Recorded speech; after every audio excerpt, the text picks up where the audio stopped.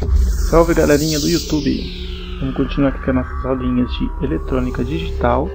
Dessa vez a gente vai estar falando sobre Shift Register, né? Finalmente a gente vai transferir dados. Dessa vez aqui vai ser serial serial.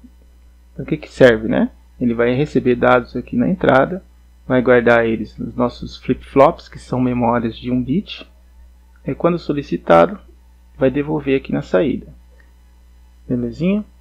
Bom, dessa vez a gente vai estar trabalhando com clock. Ele vai estar sincronizando o, o nosso arranjo, né? Ele vai estar enviando pulsos para todos os flip-flops. Dessa forma, os eventos vão acontecer simultaneamente, de uma maneira sincronizada. E o que seria um clock?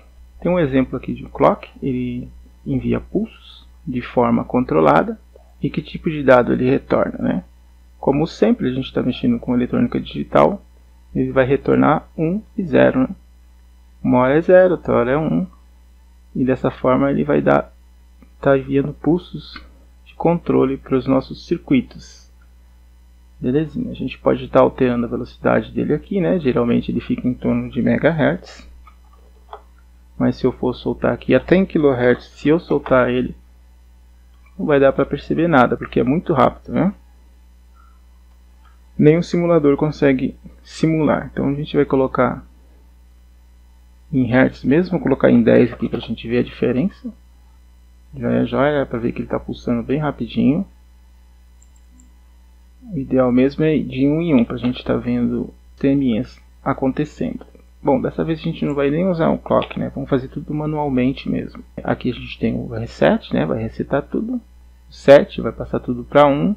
Temos a nossa entrada, os pulsos de clock que vão em todos os pinos e todos os flip-flops e aqui a nossa saída. Vamos fazer um teste.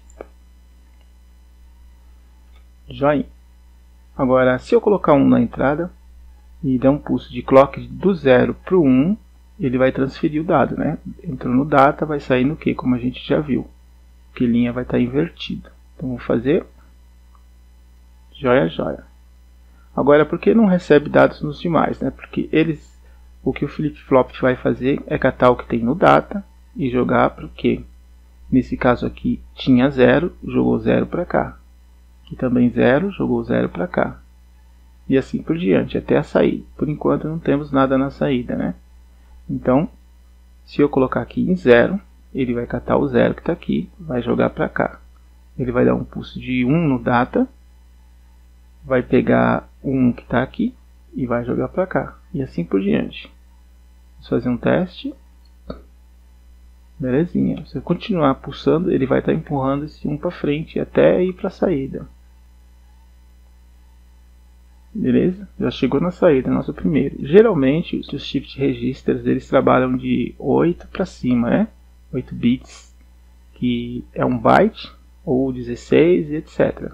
Esse aqui eu fiz só meio, que é para poder caber na tela, mas geralmente a gente começa com 8. Se eu colocar mais um dado aqui, Vou colocar um zero. Vai mandar um zero. Vou colocar um 1. Um, e aí eu já tenho o meu conjunto de dados.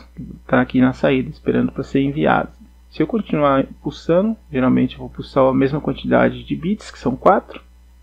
E eu mando todos os 4 bits. Aqui está em 1, vai ficar enviando 1, né? Se estiver em 0, vai ficar enviando 0. A gente também tem o nosso reset, que vai zerar tudo. E o nosso set, que coloca todos em 1. Bom, nenhum segredo aí para o Shift Register. Ele é bem bacaninha de trabalhar, de estar tá vendo aí. Espero que o pessoal tenha gostado aí. Até a próxima aí, galera. Na próxima aulinha eu vou estar tá mostrando o de serial para paralelo. Espero que o pessoal tenha gostado aí. Até a próxima aí, galera. Valeu!